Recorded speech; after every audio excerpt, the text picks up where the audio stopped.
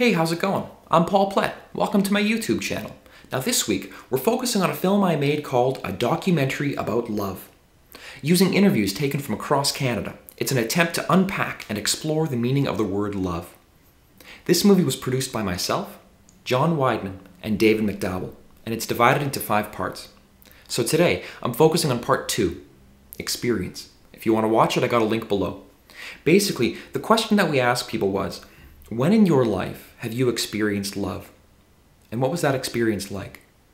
And again, we got a cross section of different answers, ranging from love that was given to a love that was received to a love that's all around us.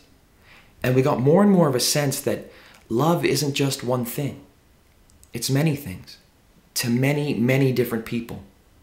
So I'd like to ask you that question. When in your life have you experienced love? And what was it like?